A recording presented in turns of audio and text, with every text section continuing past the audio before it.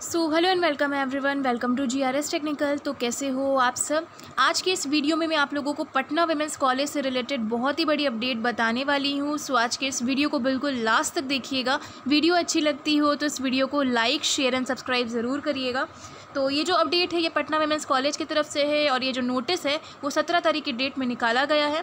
ठीक है? अब ये जो अपडेट है, ये एडमिशन के रिगार्डिंग है। काफ़ी समय से जो बच्चे थे, वो बहुत ही ज़्यादा परेशान थे कि हमारा जो मेरिट लिस्ट है, उसमें में नहीं आया है, क्या मेरिट लिस्ट टू आएगा? मेरिट लिस्ट टू कब तक आ जाएगा? क्या हमारा रोल नंबर उसमें होगा? एडमिशन प्रोसेस क्या है? तो आपके तमाम सवाल के जो जवाब हैं, मैं उस वीडियो में देने वाली हूँ तो वीडियो पर अंत तक बने रहें और वीडियो अच्छी लगती हो तो इस वीडियो को लाइक शेयर सब्सक्राइब ज़रूर करिएगा। तो जैसा कि मैंने आप लोगों को बताया है कि ये जो अपडेट है, ये एडमिशन के रिगार्डिंग है और एडमिशन लिस्ट टू है, ठीक है?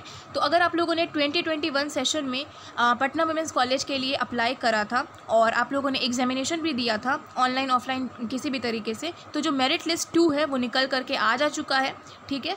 चलिए देखते हैं, इसके बारे में यहाँ पे क्या लिखा गया। था यहाँ पे लिखा गया है the following candidates who have qualified in the online offline entrance test 2021 have been selected for the admission यानी कि अगर आपका रोल नंबर जो है, इसमें अगर शो हो रहा है तो आप लोग सेलेक्ट हो चुके हो, ठीक है? यहाँ पे लिखा गया है kindly take your admission offline on 21 August 2021 यानी कि अगर आप लोगों को इस कॉलेज में एडमिशन लेने का मन है, एडमिशन लेना चाहते हैं तो आप लोगों को एडमिशन लेने के लिए कॉलेज जाना होगा, यानी कि ऑफलाइन होकर के पेरेंट्स के साथ 21 तारीख को वहाँ पे एडमिशन ले लेना होगा। ठीक है, एडमिशन आपका ऑफलाइन तरीके से होगा।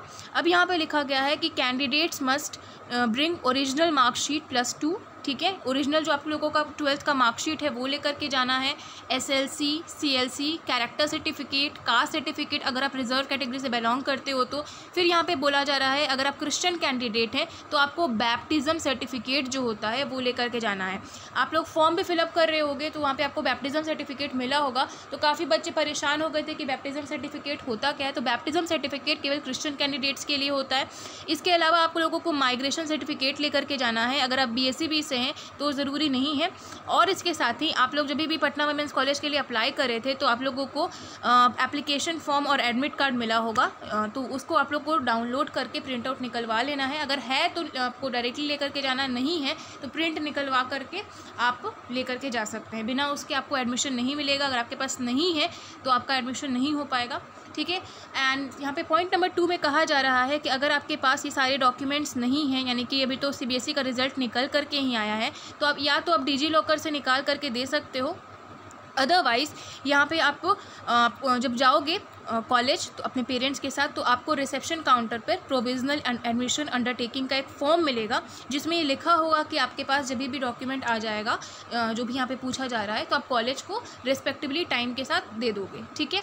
तो आपको उस फॉर्म को फिलअप करना है, उसमें पेरेंट्स का भी सिग्नेचर चाहिए होता है तो पेरेंट्स को साथ लेकर के जाना, क्योंकि आपको, वहाँ पर पेरेंट्स को फ़ीस भी पे करना होगा आपका तो इसके लिए